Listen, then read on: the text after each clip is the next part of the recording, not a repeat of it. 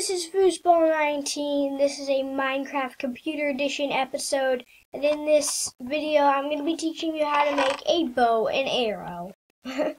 okay. So let's start off with, that's how you, that's how it's supposed to be shaped. That equals a bow, and this equals an arrow. One flint at the top, a stick in the middle, a feather at the bottom. Here we got string, uh, and then like that. Okay, so I'm going to quickly take these, and I'll take the creeper squad also. Okay, so, um, let's start off with the arrow. So, boom, boom, boom, with the sticks, and then go like that. Oh, there we go. Take a second to look at it.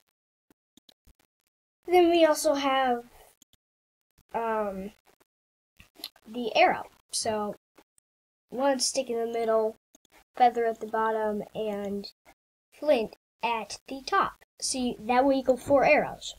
So, this is why I got my creeper spawner. And I'm going to see how good I am. Okay, three, two, one, go. Especially with no armor. Oh, wait. Why, what, what, uh, for, forgot to change it to the game mode. They will well, creepers are actually the most.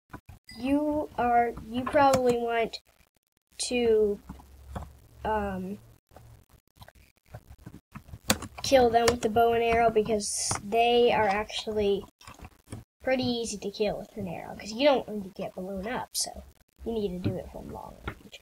Okay, three, two, one, go, go, go, go, go, go, go, go, go, go, go, run away. Oh god. One. Come on, shoot the arrow, shoot the arrow. Come on, die. Oh, perfect.